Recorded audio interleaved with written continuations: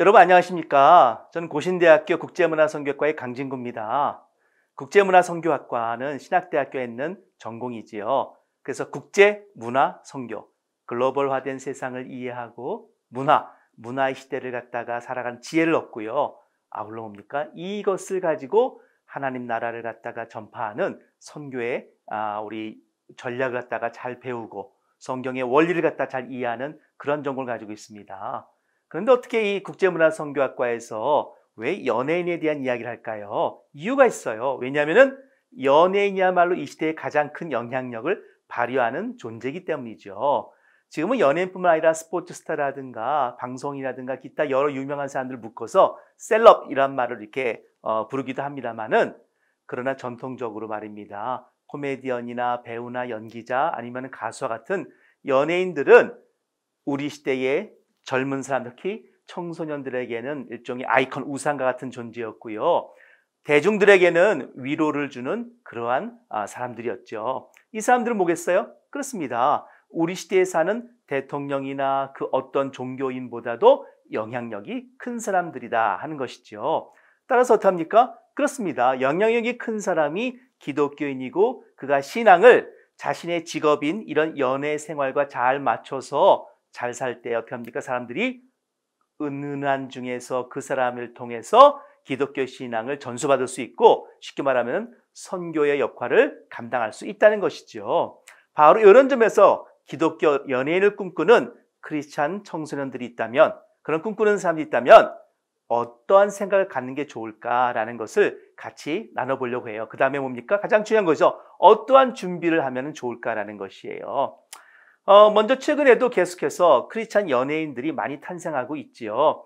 우리 여러분 보셨죠? 싱어게인. 그렇습니다. 이 싱어게인이라는 프로그램 자체가 굉장한 프로그램이에요. 왜냐하면은 이건 기존에 앨범을 내거나 가수 활동을 하는 사람들이죠. 근데 홍대에서 일종의 그 독립 무대에서 말입니다. 조그만 무대, 소무대에서 활동하는 가수들이고 이미 앨범도 냈지만은 사람들이 모르는 거예요. 이 사람들에게 세상에 자기 이름을 알릴 그 기회, 그런 무대를 제공하는 것이 바로 싱어게인의 이 취지죠.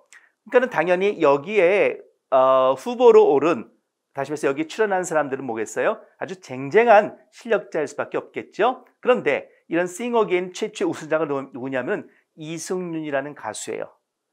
근데 이승윤은 뜻밖에도 말입니다. 이 가족이 구성원이 참 재밌는 구성원입니다. 한편으로는 이 연예계의 중요한 그런 그 매를 갖다 형성하고 있는 반면에 또 한편은 뭐냐면 한국 교회의 개혁적인 어떤 면모를 드러낸 그런 목회자 집안이기도 하다라는 것이지요.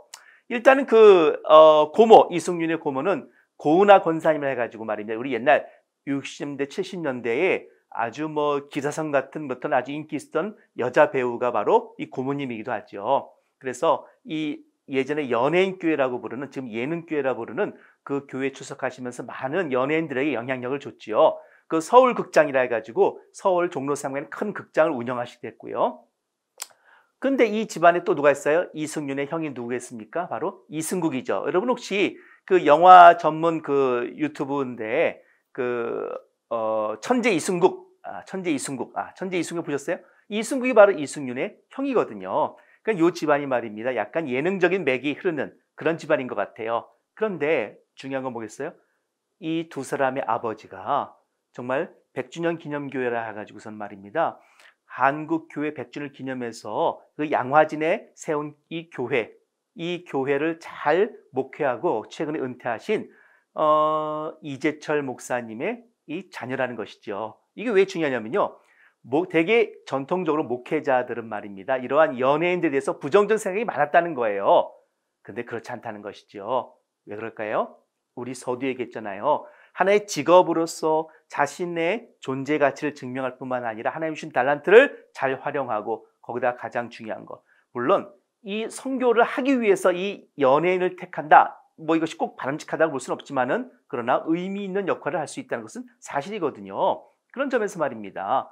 아, 이제 한국 교회에서도 목회자 집안에서도 옛날에 딴따라라라고 비웃었던 그런 연예인들을 어떻습니까? 하나의 자녀 교육으로 잘 훌륭하게 키워서 사회에서 활동하는 아주 건강한 사회인으로 만드는 것 이런 일들이 교회 안에서도 일어날 수 있겠구나. 교회의 중요한 기독교 자녀 교육으로서 가치가 있, 있겠구나라는 그러한 시사점을 여기서 제공한다라는 것이죠. 따라서 우리는 뭐겠습니까? 그렇습니다.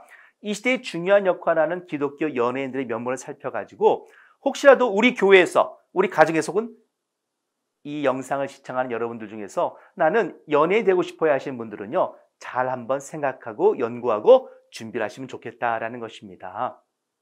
이 시대에 우리 청소년들의 가장 큰 영향력을 행사하는 사람이죠. BY죠. 아우, BY 대단했어요. 왜냐하면 고신대학교 그 개교 기념일 그 축제를 하는데 말입니다. BY가 영도의 고신대 캠퍼스에 왔었잖아요. 세상에 어떻게 하는지 말입니다. 청소년들 수천 명이 이 운동장 가득 채운 거예요. 그러니까 제가 고신대에 온지 어, 그야말로 한 10년쯤 됐는데 그 가운데서 가장 많은 사람들이 몰려든 축제였다라고 생각이 들어요. 그만큼 인기가 대단했다는 거죠. 그런데 BY는 어떤 특징이 있습니까? 자신의 기독교 신앙적인 면모를 감추지 않아요. 그리고 어떻게 됩니까? 가장 중요한 것이죠. 성경적인 가치관으로 가사를 써서 이 랩을 갖다가 부른다는 것이죠. 그러니까 뭐겠어요? 자신의 신앙과 자신의 연예인으로서의 자신의 직업을 갖다가 분리해서 생각하는 것이 아니라 그걸 갖다가 하나로 통합해서 다시 말해서 하나님 주신 내게 주신 은혜, 노래 부르는 은혜를 내가 마음껏 뭡니까? 발휘해서 성경적인 나의 가치관을 갖다가 드러낸다. 이렇게 이제 활동하는 아주 대표적인 가수라는 것이지요. 그렇죠? BY 이름도 이제 원래 이병윤이지만 BY 목에서 이유가 되어라. 되어라. B는 존재의 동사죠. 되어라. 어? 그런 의미로 이제 쓰고 있다 그래요. 아니야 다를까요? BY가 래퍼가 말입니다. 2017년도 그 엠넷의 가온 차트 뮤직 어워즈에서 상을 받았는데 그때 뭐라고 했을까요? 궁금하시죠? 네. 어떤 건지 한번 봤으면 사실 좋겠어요. BY가 수상식에서 얘기한 것은 태초의 말씀이 계시니라. 이 말씀 하나님과 함께 계셨으니 이 말씀은 곧 하나님이시니라. 그로 말미암아 지은 바 되었으니 지은 것이 하나도 그가 없이는 된 것이 없느니라. 요한복음 1장 1절의 말씀을 갖다가 그가 외워서 수상소감으로 말한 것이지요. 대단하죠. 그렇죠? 그렇습니다. 사람들 이에 대해서 어떤 사람들 비판하는 사람도 있어요. 아니 개인적인 신앙 갖다 왜 이야기하느냐? 아니 그러면은 말이죠. 개인적인 우리 어 우리 그 음반 사장님께 감사드립니다. 어? 아 그거는 뭐 개인적인 일 아닌가요? 그러니까는 어쨌든 간에 핵심은 뭐냐면은 BY는 자신의 연예인적인 삶과 자신의 신앙을 분리하고 있지 않고 하나로 통합해서 살고 있다라는 것이죠. 당연히 하나님께 감사했던 것은 더 말할 나위도 없겠죠. 최근에 BY가 결혼을 발표했어요. 근데 손편지를 써가지고 자기 팬들에게 알린 것이죠. 거기 이렇게 썼더라고요. 오늘 여러분에게 제, 인생, 제 인생에서 하나님의 받은 가장 큰 축복을 알리고 싶어 이렇게 글을 남깁니다. 또 이렇게 썼어요. 저는 너무나 감사하게도 평생을 믿고 의지할 수 있는 인생의 동반자를 스무 살 무렵에 만나 8년의 교제 끝에 하나님의 가정을 꾸리고 싶어 군입대 전 사랑의 열쇠를 맺으려고 합니다. 여기 중요한 게 있잖아요. 뭡니까? 그렇죠. 건강한 교제를 통해서 가정을 이룬다라고 하는 이 가정에 대한 가치에 대한 그 깊은 어떤 신뢰. 그 다음에 젊은 사람으로서 군대 한창 인기가 있으니 군대 안 가고 싶잖아요. 근데 군대라고 하는 이 병역의 의미를 회피하지 않는 이 당당한 젊은이의 모습. 이런 건강한 모습을 가지고 하나님을 믿는다는 것을 알았을 때 사람들이 어떻게 합니까? 아, 그래. BY에게 하나님은 어떤 존재일까? BY를 BY답게 만드는 것은 바로 기독교 신앙일 수 있겠구나라는 것을 여기서 깨닫게 된다는 것이거든요. 바로 이런 것이 뭐겠습니까? 그렇습니다. 아, 나는 연예인 되고 싶어. 특히 초등학생, 중학생들, 좀 나이가 어린 학생들 있으면 뭐겠어요? 연예인에 대한 꿈이 크잖아요.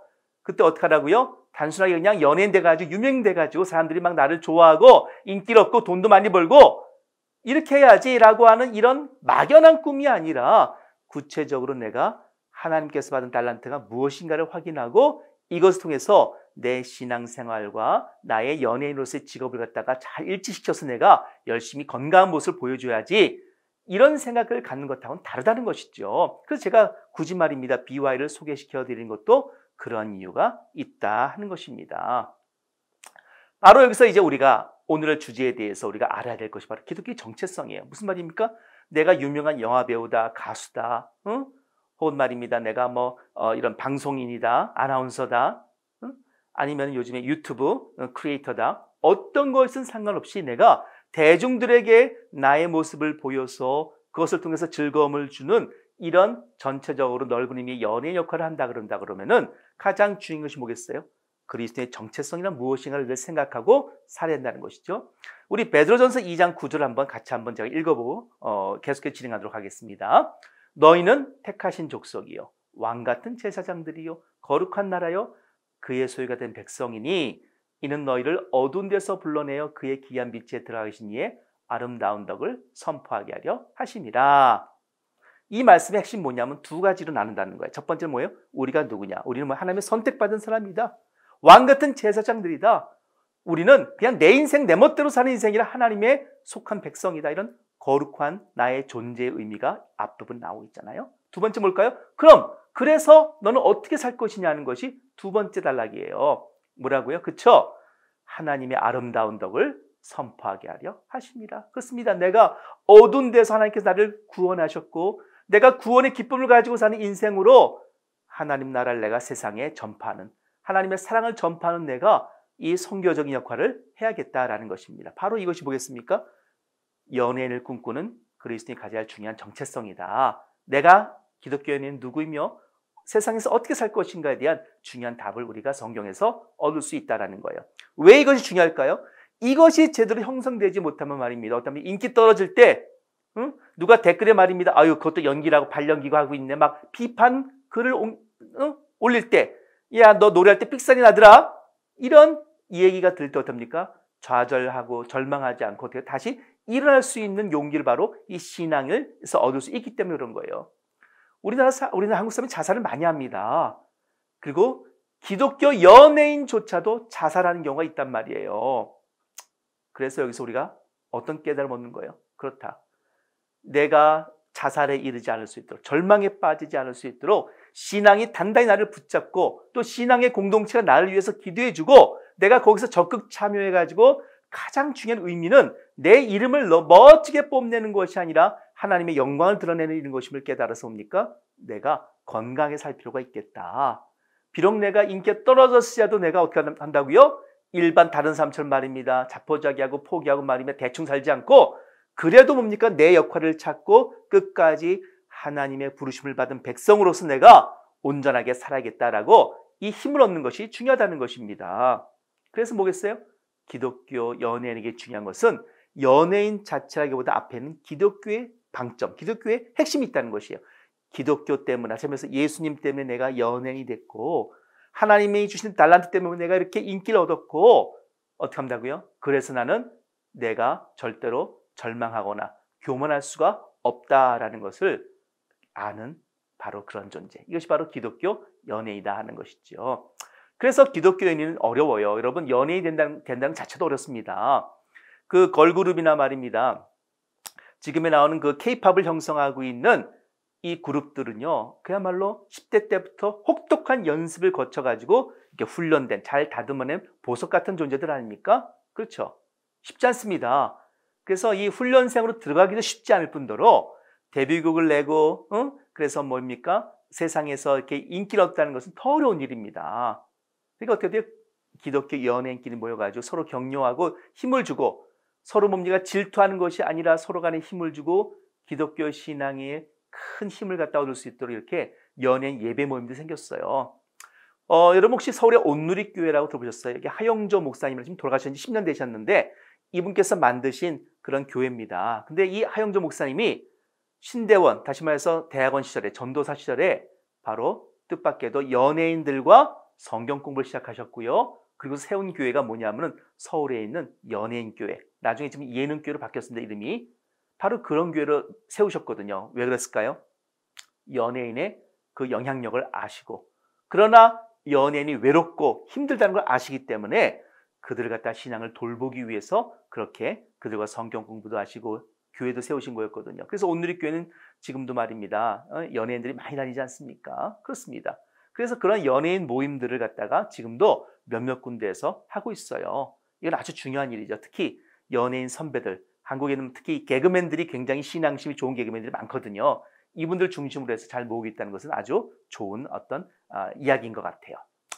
자, 그러면 우리가 이제 그럼 우리가 연예에 대해서 무엇을 할 것인가 했을 때에 이렇게 우리는 막연하게 스타를 갖다가 동경을 해요. 그렇지만 어떻게 돼요? 스타의 역할을 잘 이해했을 때 뜻밖에도 뭡니까? 내가 오랫동안 인기를 관리할 수 있을 뿐만 아니라 그 다음에 그래서 기독교인으로서 내가 어떻게 이 스타성을 잘 살려서 복음을 전파할 것인가 그리고 하나님 영광을 갖다가 나타낼 것인가를 갖다가 잘 생각할 수 있다는 것이거든요. 프랑스의 사역자 에드가 모랭이 이런 말을 했어요. 스타는요 세 가지의 중요한 영향력이 있다는 거예요. 첫 번째는 뭐냐면 호기심 유발. 무슨 말이에요? 스타가 딱 등장하면 다들 확 몰리잖아요. 그렇죠? 여러분 이 영상만 하더라도 말입니다. 국제 고신대 국선 국제문화성격과의 강진구 교수의 강의다 싶을 때는 그냥 뭐 잘 모르고 말입니다. 어? 그 연예인 기독교 연예인 그러니까 한번 볼 수도 있습니다. 그런데 BY가 여기서 강의한다고 보세요. 난리가 날 겁니다. 그렇죠? 무슨 말입니까? 스타는요 호기심을 끌고 사람을 집중시키는 시선을 모으는 역할을 한다라는 것입니다. 그래서 우리가 연예인 집회 같은 거 하는 이유가 그런 거죠. 교회에서 부흥 집회할 때 유명한 연예인들 초청하지 않습니까? 그렇습니다. 그럼 지역 주민들도 오거든요. 신뢰성 두 번째로 신뢰성 형성 백그라운드 효과 있죠. 백그라운드 뭐냐면 후광 효과라 그래요. 우리가 중세 유럽의 그런 성화 보게 되면은 예수님 뒤에 이렇게 노랗게 후광이 있지 않습니까? 왜 그래요? 이것은요 거룩한 존재다. 이거는 믿음의 존재다라는 것을 의미하는 것이거든요. 마찬가지입니다. 연예인들이 TV 광고에 나서 선전하는 물건을 어떡합니까? 신뢰가 가는 거예요. 그렇죠? 그러니까 우리가 그 물건을 사게 되는 것이거든요. 또 하나 소유돈 참여 효과 발생하는 이게 참 중요해요. 무슨 말이냐면 연예인이 갖고 있는 것은 나도 갖고 싶어. 근데 갖고 싶은 것이 물건에 끝나는 것이 아니라 연예인이 참여하는 신앙, 연예인이 참여하는 봉사, 연예인이 하는 말입니다. 행동도 나도 따라서 하고 싶어. 이런 가치관의 전달이 바로 역할이 중요한 역할이기 때문에 바로 여기서 뭡니까? 도대체 저 연예인은 어, 도대체 무슨 생각을 하셨길래 저런 기가 막힌 행동을 할까? 기가 막힌 생각을 할까? 알고 보니까는 교회 다니는구나. 그럼 나도 혹시 교회 한번 다녀볼까? 이런 생각하게 된다는 것이죠. 바로 그런 이런 스타의 영향력 때문에 연예인은 기독교인의 역할이 중요하다는 것을 기억하셔야 됩니다. 그래서 우리가 혹시라도 말입니다. 자기 친구가 기독교 연이 되고 싶어 하잖아요. 그럼 뭘 해야 될까요? 그를 위해서 기도를 열심히 해줘야 돼요. 성공하는 기도뿐만 아니라 성공했을 때에 어떡합니까? 그가 절대로 세속화되지 않고 좌절하지 않고 그 다음에 어떡합니까? 신앙심이 꺾이지 않도록 계속 기도해야 돼요. 왜요? 연예계는 유혹이 많은 세상입니다. 시간이 많으면 사실상 이런 얘기를 하고 싶어요. 연예계에는 얼마나 많은 유혹이 있는가. 저는 영화평론가 일을 하거든요. 그러니까는 한국에는 배우들과 이 탤런트들이 이렇게 크게 나눠지지 않거든요. 탤런트 하다가 배우도 하고 배우 하다가 드라마 주인공도 하는 것이죠. 근데 그 방송계나 연예계는 말이죠. 너무너무 유혹이 많아요. 돈에 대한 유혹, 성에 대한 유혹, 인기에 대한 유혹이 많아요. 따라서 그 안에 뭡니까? 죄성이 내가 거룩한 존재로서 말입니다. 조금만 방심하게 되면 죄가 막 온 세상을 덮쳐오는, 내 인생을 덮쳐오는 그런 일이 벌어지기 때문에 굉장히 유혹에 조심해야 된다는 것이죠. 그래서 제가 이제 기독교 연애를 꿈꾸는 여러분들에게 몇 가지의 중요한 그, 어, 준비 과정을 준비를 시켜드리자면요. 첫 번째, 자존감이 자존감. 내가 좀 배역이 좀 낮아요. 내가 그룹 가운데 노래하는데 어? 나의 대사본이 적어요. 혹은 내가 별 중요한 역할을 하지 않아요. 그럼 뭡니까? 열심히 하십시오. 응? 자존감을 가지고 내가 이 안에서 최선을 다하시기 바랍니다. 이 자존감은 중요합니다. 자존감 어디서 올까요? 아까 말한 베드로전서 2장 9절 말씀이죠. 우리는 왕 같은 제사장들이다. 거룩한 백성이다라고 하는 이 신앙에서 자존감이 나오는 것입니다.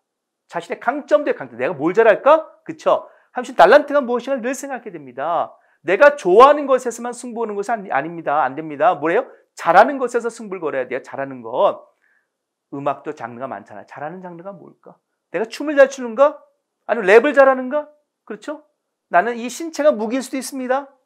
자신의 강점을 기억해야 돼요. 그 다음에 가장 중요한 신앙 훈련 받는 것을 게을리하면 안 됩니다. 왜 그래요? 이렇게 해서 내가 성공했을 때에 인기란 것은 하루아침에 무너지거든요. 그렇죠? 그래서 항상 교회를 출석하면서 나를 도와줄 그런 신앙의 공동체를 갖다가 항상 뒤에 든든하게 세워놓고서 말입니다. 활동해야 됩니다. 그래서 어떻게 돼요? 하나님 나라의 문화가 온전하게 건설될 수 있다 하는 점을 갖다가 제가 여러분께 꼭 전해드리고 싶습니다. 여러분, 이제 어떻게 하면은 기독교 연예인으로서 우리가 온전히 잘 생활, 생활할 수 있는지 이해가 되셨죠? 네. 감사합니다. 그러면 이어서 말이죠. 우리가 이 문화의 세계에 대한 공부를 한번 진행해 보도록 할까요? 먼저 이 대중문화의 발달 조건이 있어요. 대중 발달 조건. 다시 말해서 우리 기독교 연예인들이 활동하기에 적합한 그런 환경들이 사실은 있어요. 그럼 기독교 연예인이 아니더라도 일반적으로 대중들이 주목하고 사람들이 좋아하는 그러한 미디어가 발달한 시대라는 것이 바로 그런 요인이죠. 그래서 대중문화 발달 요인을 갖다가 몇 가지 한번 살펴보도록 하겠습니다. 첫 번째 뭐냐면 우리 시대는 경제적 발전 시대예요. 최근에 제가 뉴스 들어보니까 말입니다. 유엔에서 공식적으로 인정한 대한민국은 선진국이다라고 선포를 했어요. 무슨 말이냐면 지금 유엔의 산하에 많은 나라들 가운데서 말입니다. 선진국 그룹이 있고요. 그 다음에 개도국, 개발도상국이라고 하죠. 개도국 그룹이 있고 후진국 그룹이 있단 말입니다. 그럴 때 한국은요, 개발도상국 그룹에 있었어요. 여태까지 거의 60년 동안 말입니다. 그런데 이 개발도상국 그룹에 있다가 선진국으로 이제 금년부터 옮겨갑니다. 이게 어떤 의미인지 아십니까? 이런 나라가 역사상 처음인 거예요. 유엔이 만들어지고 나서 이 다른 나라로부터 후원을 받고 음? 다른 나라로부터 도움을 받던 나라에서 다른 나라를 돕는 나라가 된 유일한 나라가 대한민국밖에 없다라는 것입니다. 얼마나 대단한 일입니까? 그렇죠? 지금 경제적 발전은요, 한국은요, 대단히 잘 되고 있어요. 물론 어, 그 안에 실업률도 있고 때는 어려움도 있지만 말입니다. 나라로 봐서는 지금 한국은 선진국이다라는 것이죠. 당연히 보십시오. 대중문화가 발달할까요? 발달할 수밖에 없어요. 보십시오. 후진국은요, 대중문화가 발달할 수가 없어요. 왜 그래요? 경제적 여유가 없으면 말입니다. 이런 문화를 누릴 수 있는 기반을 조성할 수 없기 때문에 그런 거예요. 예를 들어서 우리가 대중문화가 발달했다는 것은 경제적 어떤 의미냐면 우리가 그 문화를 누릴 만 다시 콘서트 가서 가서 볼 만한 티켓 살 만한 경제적인 돈 여유가 있다는 거예요. 내가 주말에 말이야 토요일 날 혹은 금요일 밤에 내가 콘서트 가서 봐야지. 그럼 뭐예요? 시간을 내야 시간을. 시간에 여유가 있다는 거예요. 지금 우리는 주 5일제 근무가 기본 아닙니까? 그렇죠? 거기다 문화 인프라. 다시 말해서 그런 공연장도 있고 그런 기술진도 있고 이 모든 것이 다 되니까 말입니다. 어떻게 합니까? 바로 대중문화가 발달할 수밖에 없는 것이죠. 그렇죠? 보십시오. 제가 대학 다닐 때는요, 골프는요, 정말 상류층의 전유물이었어요. 지금은요, 제가 군대 가니까는 말입니다. 우리 선임마사 골프 치더라고요. 골프는요, 이제 대중화가 된 그런 운동이 되고 말았죠. 스키장 보십시오. 스키장, 예전 같으면 정말 스키장 용평이 한 군데밖에 없었잖아요. 기억 못합니까? 눈이 안 와서 그렇지 스키장은 여러 군데 있잖아요. 해외여행, 지금 코로나 때문에 사람들이 해외여행 못 가서 난리 아닙니까? 코로나 한창일 때 사람들은 말입니다. 나가고 싶어 해서 못 나갔단 말이에요. 그러니까 어떻게 돼요? 명품 쇼핑을 가는 거죠. 대신 음? 해외여행 못 가는 대신 모아뒀던 돈 가지고 명품 사는 겁니다. 그만큼 대한민국은 일단은 경제적으로 여유가 있는 나라다. 따라서 그 여유를 가지고 사람들은 대중문화를 누리기 시작한다는 것입니다. 그 대중문화 발달 첫 번째 조건, 한국은 경제적으로 발전한 나라다 하는 거예요. 그렇죠? 제가 통계 가지고 나왔어요. 한국 경제는 60년간 무려 3만 배나 커졌다. 3만 배. 3만 배. 그건 사실입니다. 어, 대한민국 같은 나라가 없다라는 것에 우리는 자부심을 가져도 좋습니다. 여러분 휴가 따는 거 보세요. 70년대 피서열차 동해남부선이죠. 동해남부선은 뭐냐면요. 어, 이, 이, 부산에서 말입니다. 이렇게 쫙 강릉, 어? 이까지 가는 이러한 에, 철도가 있단 말이에요. 어떻합니까? 저 보세요. 그 피서 한번 떠나려고 기차 위에도 올라가지고 말입니다. 난리 났잖아요. 그렇죠? 이게 1970년도 풍경이에요. 지금은요? 그렇습니다. 코로나 때문에 못 갔지 말입니다. 코로나 이전, 이후 보세요. 휴가 인파로 공항이, 응? 김해 국제공항이, 인천공항이, 그리고 모든 국내의 공항, 외국의 항공사가 출입할 수, 외국에 나갈 수 있는 공항들은 전부 다 뭐 인산을 이루죠. 그렇죠? 이건 어떤 의미일까요? 경제적으로 한국이 여유가 있다. 뭔가 문화의 변동, 변화가 생겼다라는 것을 의미하는 거 아니겠어요? 두 번째, 대한민국이 대중문화가 발전한 나라는 걸 어떻게 우리가 그 조건을 알 수 있냐면은 정치적 발전, 정치적 발전. 여러분 생각에 중국은요, 어, 굉장히 경제 발전 나라죠? 대중문화 발전했을까요? 그렇지 않습니다. 왠지 아세요? 언론의 자유가 없어요. 중국은 말입니다. 뭔가 새로운 것을 갖다가 아이디어를 내더라도 예를 들어서 뭐 시진핑을 비판했다든지 공산당 정부를 비판한다든지 혹은 마음에 안 든다는 자 못합니까? 바로 검열에 걸려버리고 마는 거예요. 못하는 겁니다. 그러니까 표현의 자유가 없어요. 대한민국은요, 표현의 자유 얼마든지 있습니다. 사실상은 세계 어느 나라보다 표현의 자유가 굉장히 발전한 나라이기도 하죠. 이건 어떤 의미예요?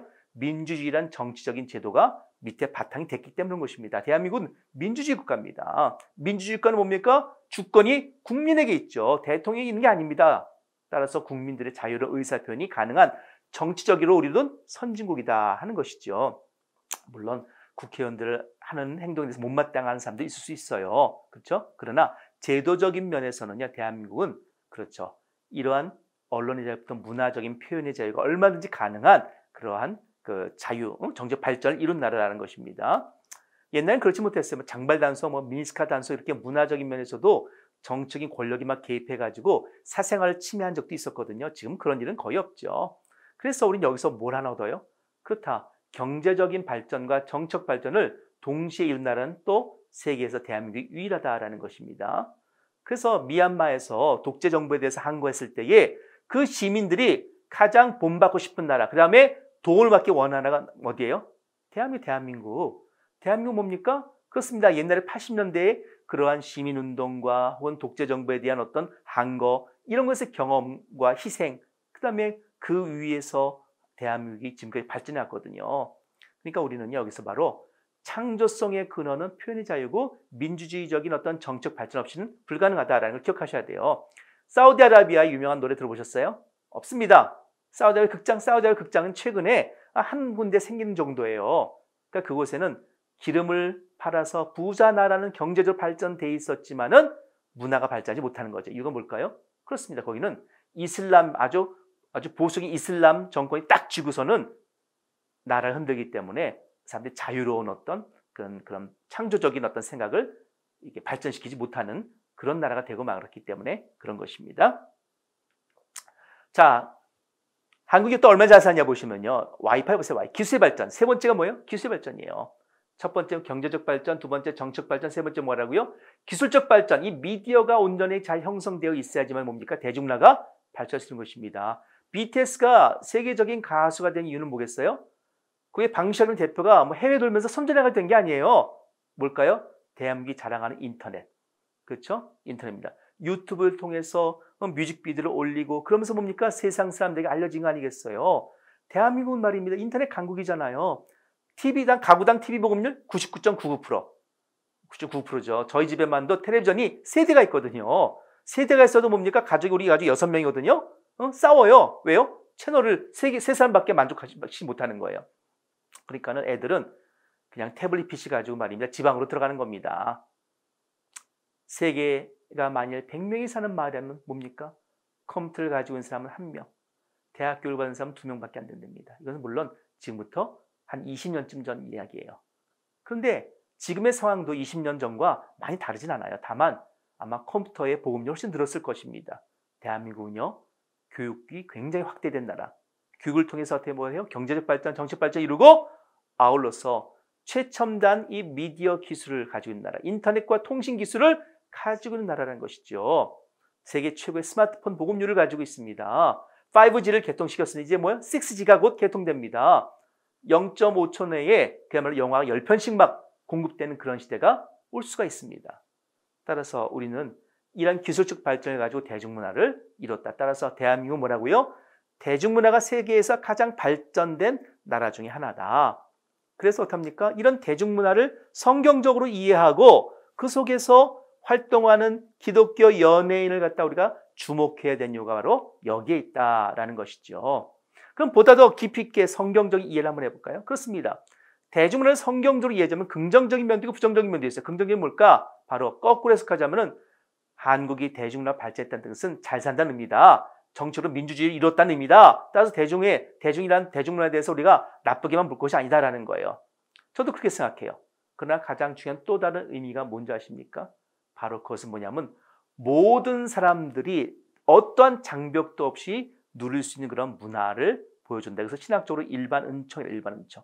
일반 은총 쉽게 해석하자면 이런 뜻입니다. 하나님은 교회 다니는 사람에게만 밭에만 비를 내리신 것이 아니라 교회 안 다니는 사람의 밭에도 비를 주시잖아요. 그렇죠? 똑같이 은혜를 베푸신단 말이에요. 이게 일반 은총이에요. 기독교인과 비기독교인이 공유할 수 있는 어떤 문화가 바로 사실은 대중문화가 되는 것이죠. 그렇잖아요? 여기에는 기독교적 가치관이 함께 공유할 수 있는 것도 있고 그렇지 않은 것도 있을 수 있습니다만은 그러나 함께 공유한다는 이 의미는 뭐냐면은 우리가 세상 사람과 접촉을 통해서 보험을 갖다 전할 수 있는 하나의 달 역할도 할 수 있다. 이제 그런 뜻이 되는 것이거든요. 그렇잖아요. 우리가 어, 가요 부를 때 말입니다. 우리 만남은 우연이 아니야 노사연 씨죠. 노사연 씨 크리스찬입니다. 그러나 그가 부른 이 뭐겠어? 일반 사람 함께 부른 노래죠. 왜?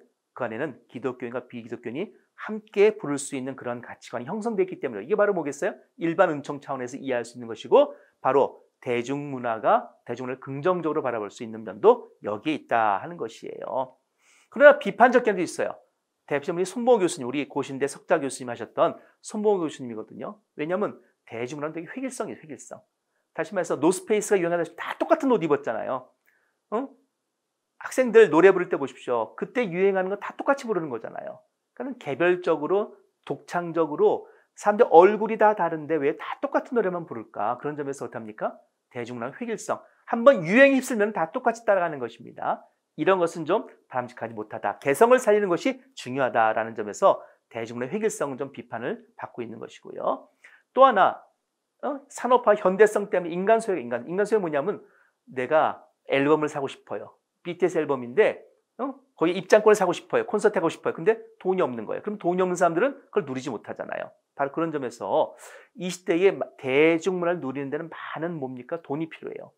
또 방송은 방송 나름대로 인기를 끌어야지 계속 지속할 수 있거든요. 그럼 어떻게 합니까? 시청률이 높아야 돼요. 그럼 어떻게 됩니까? 선정적인 게 나오는 거죠. 바로 그런 점에서 이 안에서 선정성 때문에 어? 사람들은 말입니다. 주목을 끌려고 막 노력하고 또 어떤 사람들은 그러한 대중에 참여하지 못해서 돈이 없어 참여하지 못해가지고 소외되기도 하고 말입니다. 그런 어, 좀 어, 잘못된 면도 있을 수 있다라는 것이죠. 그래서 상업주의라 부르기도 하는 거예요. 어, 요게 가장 대표적인 우리가 좀 주목할 만한 사람이 자크 엘리어 자크 엘리를 자크 엘리 사람이 뭐냐면 특히 이 기술 선정성도 기술의 문제점을 지적했어요. 그래서 여러분들 지금 텔레비전은 어떤 텔레비전 사고 계세요? 옛날에는 브라운관, 옛날에 이렇게 뒤로 두툼하게 나온 텔레비전 보고 우리가 살았거든요. 지금은요 LCD, LED 이렇게 사, 나오잖아요. HD TV를 지나서 지금은 LCD, LED가 나오고요. 지금은 그렇죠.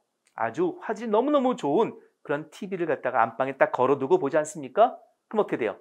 그것을 그렇게 보는 사람과 보지 않는 사람 차이가 있을 수 있겠죠. 우리는 다 그걸 사고 싶어 하는 거예요. 이렇게 기술의 진보를 통해서 끊임없이 기술의 노예가 되고 있는 것입니다. 보다 더 나은 기술, 그렇죠? 2G에서 3G, 3G에서 4G 이렇게 5G 점점 점점 스마트폰이 좋은 것을 사고 싶어하는 마음을 부추긴다 하는 그런 뜻에서 이렇게 이, 어, 이 기술의 문제점을 좀 주목할 수밖에 없다. 그래서 이렇게 선정성과 더불어서 기술의 어떤 문제를 갖다가 어, 지적할 것이 바로 대중문화의 문제점이기도 하다라는 것입니다. 중요합니다. 선정성 문제는 다 이해하시죠? 너무 야해요. 걸그룹들이 말입니다. 어? 정말 그 옛날 어떤 걸그룹의 멤버들은 미성년자에 불구하고 말입니다. 마치 남자의 성적 욕망을 갖다가 바라본 시선에 맞춘 듯이 그렇게 복장을 하고 춤을 추는 것은 좀 문제가 있을 수 있겠죠. 그러나 그보다 더 중요한 게 뭘까요? 기술의 문제, 기술의 문제. 왜요? 지금 우리가 살고 있는 기술은 말입니다. 이제는 가상현실, VR이야, VR. 그쵸? AR, 음? 증강현실. 우리가 이런 걸 통해서 이제는 완전히 새로운 세상, 가상현실 속에서 진짜 같은 그러한 삶을 갖다가 자기 아바타를 가지고 사는 그런 세상 지금 막 오고 있거든요. 그럴 때 우리가 그 기술을 어떻게 할 것인가? 기술에 종속된다, 노예가 된다는 것은 뭡니까? 비판하지 못하고 그대로 빨려 들어가서 그냥 사는 거예요. 현실과 가상을 적절하게 잘 구분할 줄도 알고 내가 살아가는 때의 나의 존재의 가치가 어떻게 양쪽의 새로운 세계에서 실현될 수 있을 것인가를 생각해야 되는데 그렇지 않고 기술이 너무 좋다 보니까 빨려 들어가면 뭡니까? 우리 적합한 그런 온전한 대중을 누리는 삶이 되지 못한다. 이렇게 얘기하는 것이죠. 그래서 우리는 성경의 시각으로 문화를 보는 것이 가장 중요하다. 두 가지가 있어요. 첫 번째, 대중문화의 소리는 항상 비판적 자세를 가질 필요가 있겠다. 왜 그래요? 대중은 누가 만들어? 인간이 만들어요. 근데 인간은 뭡니까? 성경적 인간이란 타락한 죄인이에요. 예수 그리스도의 십자가의 공로로 구원을 받아야 할 존재지 자신의 능력으로 힘을 써가지고 스스로 구원한다는 것은 불가능하고요. 자기 자신을 뽐내는 일은 가능하지만 그러나 뭐겠어요? 영혼의 구원을 잃을 수가 없어요. 타락한 죄인이라는 건 어떤 의미냐면 자신 욕망대로 살아가는 그런 존재라는 것이에요. 따라서 우리가 자신의 욕망을 실현시키고자 하는 이런 사람들이 만든 것이 대중문화이기 때문에 항상 문화를 어떻게 본다는 거예요? 저게 성경적으로 옳은가 그른가를 보는 것이 옳겠다라는 거예요. 그럼 여기에만 머무르면 안 돼요. 뭐가 있어야 돼요? 적극적인 문화 창조가 이루어지는 것이 좋겠다라는 것이죠. 그래서 제가 마지막으로 예를 하나 들려고 합니다. 이거는 허버트 제임스 드레이퍼라는 사람이 그린 율리시즈와 셀. 율리시즈는 우리가 알고 있는 그리스 로마시라는 영웅이기도 하죠. 쉽게 말하면 여러분들 혹시 어, 어, 그 우리가 유명한 유명한 그 뭡니까? 그 이 그리스 연합군하고 벌였던 그런 전쟁이 있었죠. 어, 이 전쟁의 영웅 중에 한 사람이 이제 율리스지거든요. 그런데 율리스지가야 어, 이 호모 호모라는 그 시인이 쓴 그 대서사시, 응? 대서사시 속에 하나의 주인공이란 말입니다. 이 사람이 이제 트로이 전쟁의 영웅이었는데 트로이 전쟁을 다 끝내고 이제 자신의 고향 이타카로 돌아가는 배를 탔어요. 트로이 전쟁은요, 영화 트로이 전쟁은 6개월밖에 나타나지 않지만 사실은 10년간의 전쟁이거든요. 그러니까 고향이 얼마나 빨리 가고 싶겠어요. 그래서 지름길을 택해서 가는데 항상 지름길은 좀 위험하죠. 그래서 어, 이 율리세이즈라는 이 영웅이 뭘 알았냐면 지름길은 위험하지만 그러나 그 속에는 빠져나갈 길이 있는 거예요. 뭐냐면은 왜 위험하냐면 저기 보시면은요 세 명의 요정이 있죠. 여자 요정이 응? 막 노래를 불러요. 그 노래가 얼마나 좋은지 말입니다. 사람들이 귀를 막지 않고 들으면은 그 빨려 들어가서 다 물에 빠져 죽거나 좌추되고 다 죽는 거예요. 이 세이렌이라 부르는 요정이 있어요. 세이렌. 우리가 민방 훈련 때 엥, 이 사이렌 난다 그러잖아요. 그렇죠? 이 세이렌. 또 세이렌 어디서 나오죠? 그렇죠. 스타벅스에 세이렌 있잖아요. 미리 주문하면 이렇게 받아, 받을 수 있는 거. 여러분 스타벅스에 나오는 코드 인어공주 있죠? 그림 있죠? 그 인어공주의 기원이 바로 이 세이렌이에요. 뭡니까? 유혹하는 존재, 유혹하는 요정이에요. 아, 스타벅스 얼마나 유혹이 강합니까? 저도 스타벅스의 커피 냄새 맡은 말이면 그 유혹을 이기기 쉽지 않거든요. 어쨌든 간에 율리스즈는 그 사실 알았어요. 그래서 어떻게 세이렌 노래가 들리지 못하도록 그냥 귀를 막은 거죠. 다 귀를 막고 뭘 묻고 말입니다. 억지로 놀져가는 거예요. 통과에 성공했어요. 그런데 뜻밖에도 이 세이렌 섬을 통과한 또 다른 배가 있어요.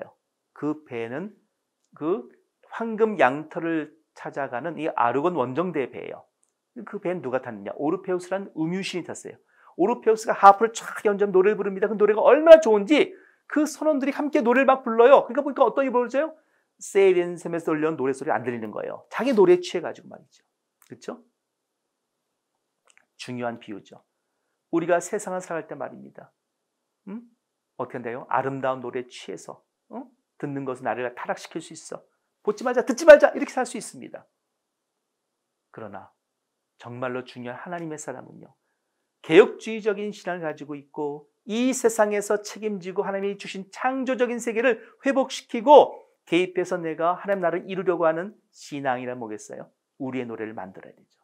창조적인 관점을 개입시켜야 되는 것입니다. 그래서 교회에서 만든 노래가 신앙인이 부르는 노래가 기독교 연예인이 연출하고 감, 연출하고 어, 출연하는 그러한 영화와 드라마가 말이 너무 좋아가지고 어떻게 합니까? 다른 곳에 관심을 두지 않을 만큼 그렇게 매력적으로 나가서 못합니까? 세상은 기독교 문화가 널리 펼쳐질 가능성이 높다라는 것입니다. 기독교인에는요, 대중문화 시대에 아주 중요한 역할을 하는 일꾼입니다. 그들은요, 이 시대의 최고의 선교사일 수도 있습니다. 따라서 그들 위해서 기도하고 기독교인을 꿈꾸는 여러분들을 이 준비하셔가지고 자신의 기량, 하나님 주신 달란트를 잘 활용하실 수 있기를 바랍니다. 여러분을 응원합니다. 저는 고신대 강준 교수였습니다. 고맙습니다.